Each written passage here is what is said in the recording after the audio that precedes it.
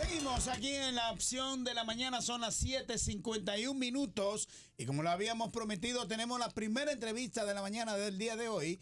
Se trata de Altagracia Paulino, periodista, ex directora de Proconsumidor, pero además de eso, conoce perfectamente sobre la ley de, del consumidor, sobre todas las leyes que tienen que ver con la protección al ciudadano. Buenos días.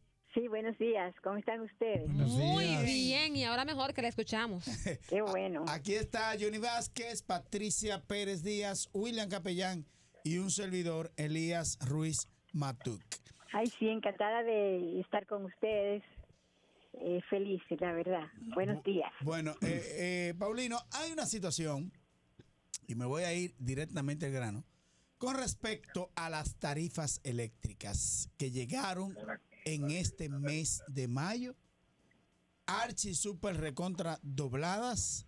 Hay una eh, un comunicado en el día de hoy de las distintas EDES donde ellos dicen que hay un promedio que se le saca a las empresas y que por esa razón llegaron altísimas, eh, que la gente como estaba dentro de la casa consumió mucho más energía eléctrica.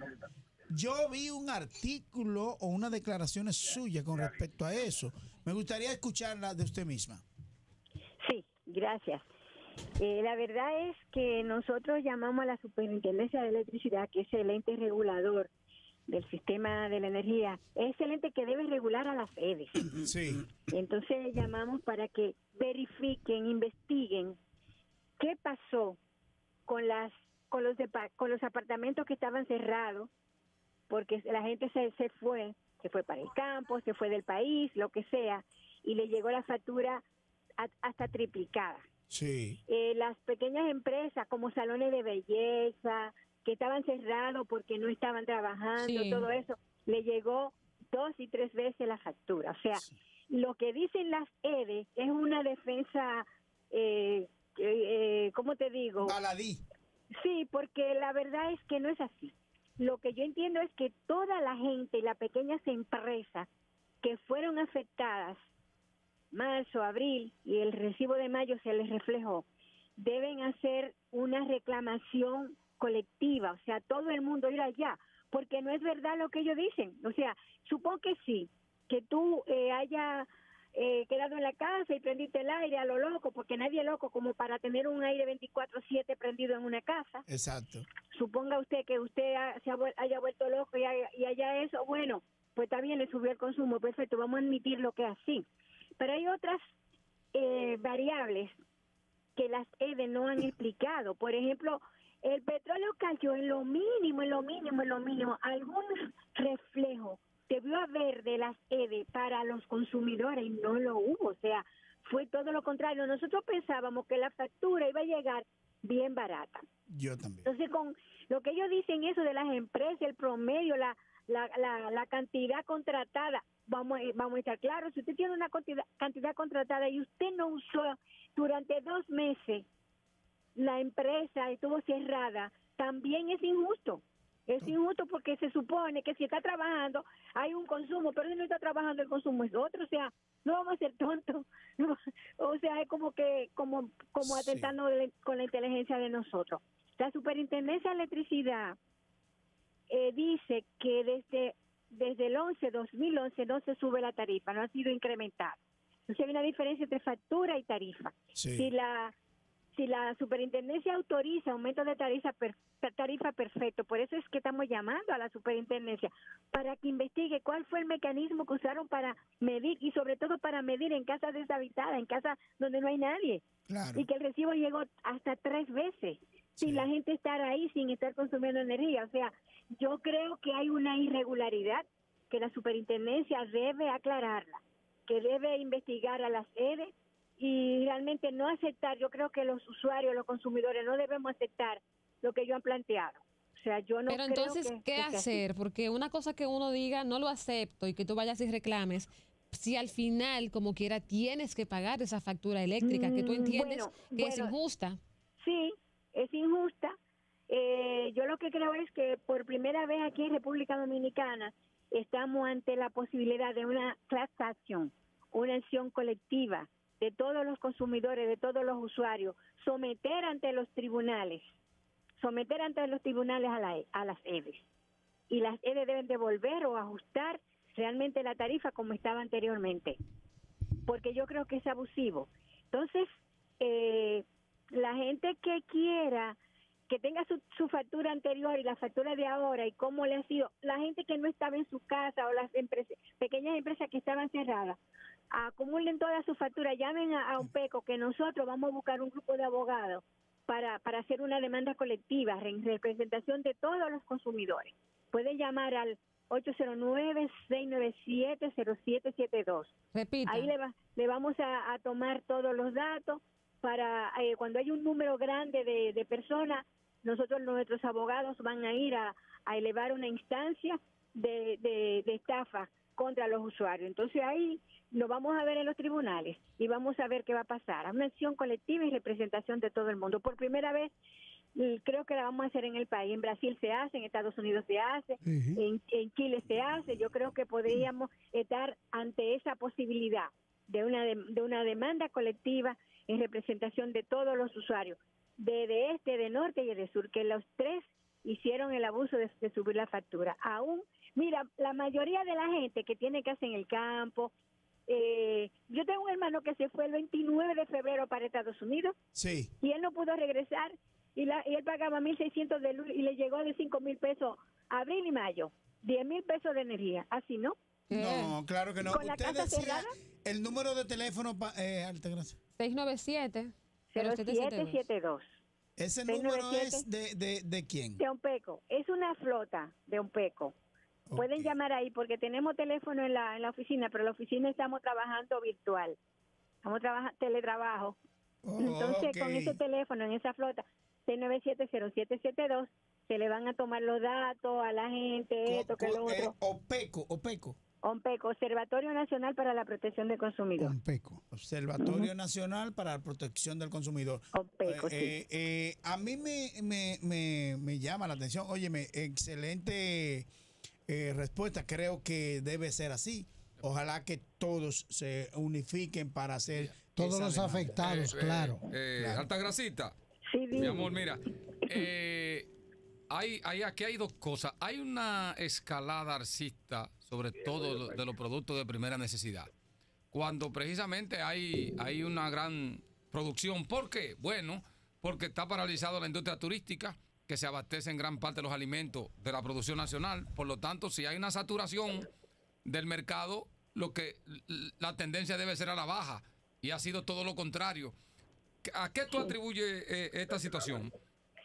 Bueno, yo creo que eso es especulación, porque hay muchos productos del agro que son que son productos eh, de temporada, sí. que si no lo bajan de precio se le van a dañar, el tomate, los ajíes, sí. eh, los plátanos, hay muchos productos de temporada, la sí. lechuga. Perecedero. Como, como pero la, que son perecederos, o sea, se le van la a dañar. cebolla, por ejemplo. Así es. Sí. Altagracia. Sí. Pero sí. hay un argumento de los eh, de los supermercados, la gente que vende productos importados, que los relacionan con el alza de la prima del dólar. Ellos dicen que esos productos importados han eh, sufrido un incremento en sus precios por el hecho de que la prima del dólar se ha disparado. Sí. Eh, ¿Existe realmente una conexión con eso? Sí, hay una relación eh, inmediata entre eh, inflación y alza del dólar. Exacto. Eso es automático. Sí. Eso es automático. Toda la vida lo hemos vivido, lo que vivimos aquí en el país. Yo recuerdo en los 80, yo recuerdo casi siempre en el gobierno de Hipólito, o sea, yo sí. recuerdo cuando se, se disparó la inflación, que tú tenías un precio en la mañana y otro en la tarde, pero era tenía una relación inmediata con, con, con el alza de la prima del dólar. Sí. O sea, que siempre es así. Vamos a tener inflación mientras el, el dólar no se estabilice. Eso es así. O sea, que tenemos que prepararnos doblemente con el tema económico. O sea, tenemos que prepararnos para sobrevivir en medio de todo lo que viene, porque la crisis económica, o sea, hay una paralización en la economía global, en la economía local, o sea, que tenemos que ser inteligentes para no perecer. Eh. O sea, básicamente este año 2020 es un año duro en prácticamente en todo el sentido de la palabra y en la mayoría de las áreas, la económica, la de salud, incluso la política que eh, viene por ahí, eh, las elecciones presidenciales y congresuales. Bueno, el panorama entonces no, pinta bonito. Bueno, yo te voy a decir una cosa, hay muchos candidatos, muchos aspirantes y yo no sé, yo no le veo ni la varita mágica ni, ni la posibilidad de, de enderezar esto. Mm. porque realmente vamos a tener efectos sumamente negativos. De todas maneras, yo no soy pesimista, porque la vida sigue. tenemos que enfrentar, tenemos que resistir, tenemos que luchar eh, eh, contra ese virus. Tenemos, por ejemplo, los, los adultos mayores como yo, quedarse lo más posible en la casa, eh, leyendo, haciendo oficio, lo que sea, pero realmente hay que buscar la forma de sobrevivir, no perecer en el intento. Así es. Paulino, hay una situación, tiene una gran experiencia en el ámbito de lo que tiene que ver con el organismo como pro consumidor. Eh, eh, tengo entendido que tú fuiste de las que trabajaste en la ley, precisamente de pro consumidor. Eh, a tu modo de ver, ¿cómo ha estado manejándose el organismo en los últimos años? Mira, yo la verdad que no quiero opinar porque podría lucir como parte interesada. Sí. La directora que está ahí era fue ocho años miembro del consejo donde yo yo estuve, o sea que ya conoce muy bien la, la, el asunto, la mecánica, el mecanismo. Pero no quiero tener juicio de valor porque puedo puede lucir interesado y uno no puede, eh, o sea, ¿qué te digo? Nada, no quiero opinar sobre eso. No, no quiere lesionar eh, eh, asuntos personales. Yo Mira, para mí esa es una institución que es como un hijo para mí. Yo digo que ese es mi cuarto hijo. Y las cosas malas que le pasen a mí me duelen. Y me, y me favorecen, la, o sea, me regocijo con las cosas buenas, pero... Sin embargo, hay muchas quejas. Yo sé que usted quiere ver las cosas de manera positiva y le aplaudo esa actitud, pero la realidad está ahí y es que las quejas sobreabundan respecto a la función que está haciendo Proconsumidor, porque el, el, consumidor se siente desprotegido, se siente que los productos, sean de primera necesidad o no sean de primera necesidad, han incrementado su precio de una hora a otra sin que haya un control de precios, sin que haya un seguimiento, una explicación, qué fue lo que pasó para que suba así. Y además también sienten que no ven la presencia de ningún agente de, de proconsumidor, por lo menos constatando, mirando qué está pasando. O sea, es como que cada quien hace lo que les da la gana y no hay ningún régimen de consecuencias. Bueno, eh, cada cual actúa como, como es. Lo, lo, nosotros tenemos que pedir como ciudadanos de la República Dominicana que las instituciones funcionen y darle todo el apoyo para que funcionen bien. Y la gente que está al frente de una institución tiene que, que ponerse en el chip de que es para servir que están ahí, no es para servirse, o sea, es para servirle al ciudadano. Todas las instituciones del Estado deben eh, ponerse en la cabeza que están ahí para servirle al pueblo, para servirle a los ciudadanos en primera instancia. O sea, por eso yo eh, convoco a la Superintendencia de Electricidad a que investigue a fondo, a fondo, a fondo a las EDES y le, y le, y le aplique la ley, porque es, déjeme decirte que la Superintendencia está para eso, para aplicar la ley cuando eh, el infractor, que vienen siendo las EDES, ha cometido el error o ha violado la propia ley eh, 12501 que regula el sistema de la electricidad. O sea, me voy por ese lado porque los déjame decirte que la globalización trajo como como buenos relativamente los órganos reguladores, los entes reguladores, que son las instituciones que deben regular, mediar entre entre el proveedor y el consumidor, entre el proveedor y el ciudadano, mediar para que realmente eh, haya equilibrio, haya equidad, haya justicia en todas las cosas que se hacen. Entonces yo creo que el ente regulador, que es la Superintendencia de Electricidad, está en la obligación de eso. Con respecto al tema de los precios, del, del comportamiento del mercado, tiene que ser pro consumidor, es el regulador del mercado y tiene que incidir, tiene que participar. No necesariamente reprimiendo y esto y cerrando y aquello, sino, sino eh, así, impartiendo justicia para en favor del ciudadano y en favor también del proveedor porque yo te voy a decir una cosa, yo la, yo me ayer estaba viendo lo duro que es producir en el campo, lo duro que es y entonces el campesino no no tiene beneficio inmediato y el consumidor tampoco, porque hay una franja de intermediario que se queda con las ganancias, con los beneficios. Entonces, eso es algo como que también hay que regular. Y yo creo que ahí debería intervenir un poco pro consumidor y en los ministerios eh, de agricultura. Y eso. Mire, usted habla de estas estructuras que se han ido estableciendo con relación a la globalización para defensa precisamente del consumidor. Ahora yo me planteo lo siguiente, esas leyes existen, esas estructuras están establecidas, pero no podrían hacer eso un poco más expreso, porque la persona cuando se mete en ese proceso de demanda se le complica la vida de una forma tan desesperante que muchos desisten. Sí, porque el sistema de justicia aquí es sumamente lento y costoso y se impone la mora judicial. Bueno, pero pre, Altagracia, escúchame, quiero interactuar. Por eso precisamente debía establecerse una ley que sea mucho más rápida, que, que no entre dentro de los procesos ordinarios. De eso, de eso te iba a decir. El proconsumidor tiene el sistema de arbitraje. Ahí en la ley está contemplado el, sistema de arbitraje para los casos de los consumidores, para cesarcirlo, para redimirlo ahí, en esa primera instancia. Y eso, eh, bueno, cuando yo estaba allá traté de establecer el sistema arbitral. Pero funciona, no, no, no, no está funcionando, no está funcionando, no lo pudimos establecer. Exacto. Yo no lo, yo que, que me sea una de las cosas que, que, que, que me hubiese gustado dejar establecido, pero sí está en la ley. Pero yo lo que sí he propuesto y hacer como Perú, como Brasil, que tienen un código del consumidor. Ese código del consumidor que impacta en todas las áreas que tienen que ver con los consumidores y los usuarios. O sea, no una ley sola aparte, que aunque es fuerte la ley de aquí porque tiene rango constitucional, no es menos cierto que, que, es limitativa con algunas cosas. No operativa.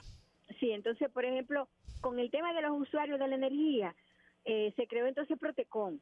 Sí. Se creó Protecon, está la superintendencia de banco, está esto, está lo otro. Entonces, eh, lo que se busca con un código es que todas esas instancias que tengan un solo orden y así operarían mejor, inclusive con, con un pequeño fiscal, con fiscales y jueces especializados como en Chile para, para cada cosa y entonces así la gente tendría una mejor defensa.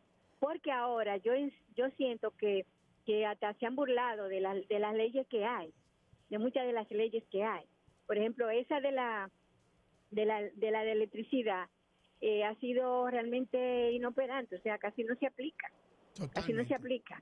Entonces, eh, la, vuelvo y repito que el papel del ente regulador que se llama Superintendencia de Electricidad debe ser investigar qué pasó y devolverle el dinero a la gente.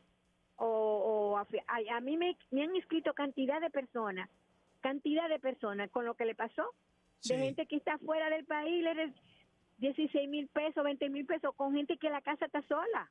Imagínate. ¿Y cómo es posible, caramba? ¿Pero y de dónde? No. ¿Pero y cómo? Y, de que en base a un promedio, por Dios. ¿Pero qué promedio si no hay nadie en la casa? ¿Cómo, ¿Cómo, es? no, de que la, la, factura de diciembre y, enero fueron las referentes para, para, para facturar febrero, abril, marzo y, todo Pero que ahí está la ilegalidad usando referentes. Usted tiene que medir lo que está ahí.